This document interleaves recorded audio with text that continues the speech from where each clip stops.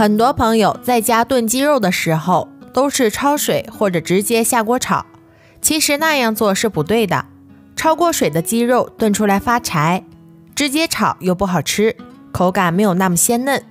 今天就给大家分享炖鸡肉鲜嫩不柴的小技巧。你要是学会了今天这个做法，上桌以后全家人都夸你是大厨。一起来看看是怎么做的吧。首先，我们准备半只新鲜的小笨鸡儿。改刀剁成小块儿，嫌麻烦的朋友可以让肉店老板帮忙剁好，剁成视频中这样的小块儿就可以啦。剁好后装入碗中，往里面加入一勺食盐，再加入一勺面粉，然后下手抓拌均匀。食盐有消毒杀菌的作用，而面粉有很强的吸附性，可以吸附掉鸡肉上面的脏东西和杂质。这里尽量多抓拌一会儿，让鸡肉的表面都能裹上一层面粉，一直抓拌至比较粘手的状态就可以啦。然后再用流动的清水清洗一下，把鸡肉表面的食盐和面粉都清洗掉。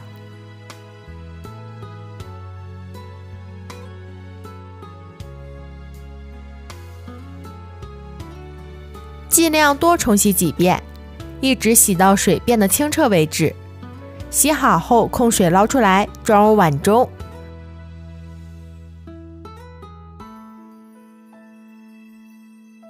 往里面加入一勺料酒去腥，一勺生抽，一勺蚝油，一勺胡椒粉。戴上一次性手套，下手充分的抓拌均匀。让鸡肉充分的吸收料汁，更好的入味儿。这里有个小技巧，大家在家腌鸡肉的时候，切记不要先放盐，不然出锅后鸡肉口感会很柴。抓匀后先放一旁腌制着备用。接下来碗中加入一把干香菇，倒入适量的温水，先把香菇泡发着备用。然后再准备两个小土豆，去皮后清洗干净，改刀切成小块。炖鸡肉的时候放一点土豆会特别的香。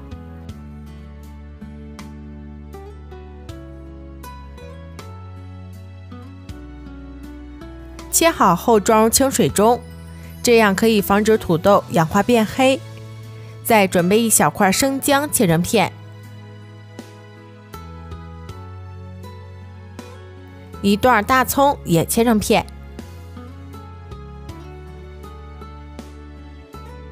切好后装入碗中，再加入一小勺花椒，两个八角。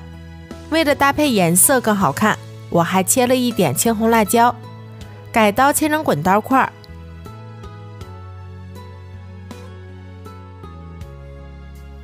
切好后装入盘中。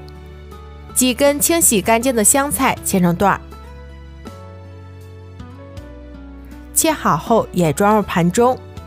这时候香菇也泡发好了，个个都吸饱了水分。简单的清洗几下，捞出来，再用清水多清洗两遍。因为香菇在晾晒的过程中会有很多的脏东西和杂质，所以这里一定要多清洗几遍。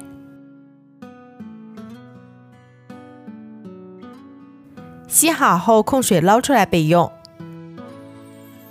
接下来起锅烧油，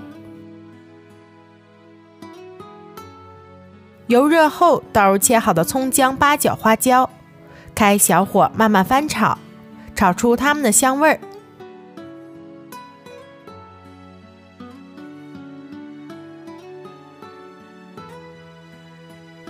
炒香后下入腌好的鸡肉。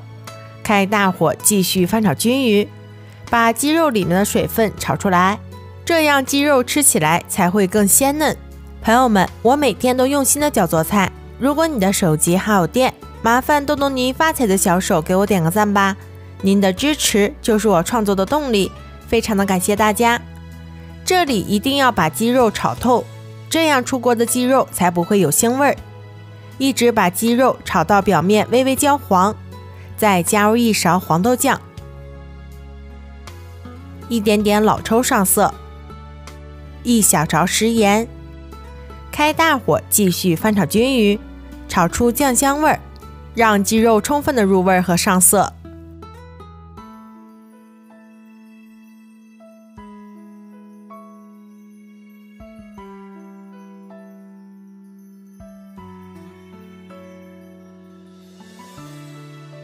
炒香后，再倒入适量的开水。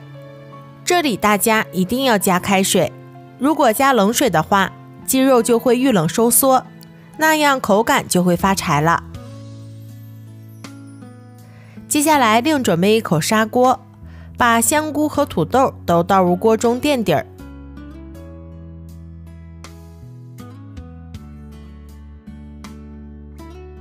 接着把炒好的鸡肉全部倒进来。盖上盖子，开小火炖二十分钟。时间到了以后看一下，这时候就能闻到浓浓的香味啦，看着也非常的有食欲。接着再把青红辣椒加进来，盖上盖子继续炖两分钟。出锅前再加入香菜，这小味道蹭一下就上来了，真的是太香了。这样一道营养又好吃的砂锅炖鸡肉就做好了。鸡肉吃起来鲜香嫩滑，口感不柴也没有腥味儿。香菇也充分的吸足了料汁，土豆已经炖得非常的软烂了。现在天气越来越冷了，给家人炖上这么一锅，吃起来暖心又暖胃。如果你也喜欢这个做法，就赶紧收藏起来试试吧。点我头像可以观看更多的家常美食。感谢大家的观看，我们下期再见。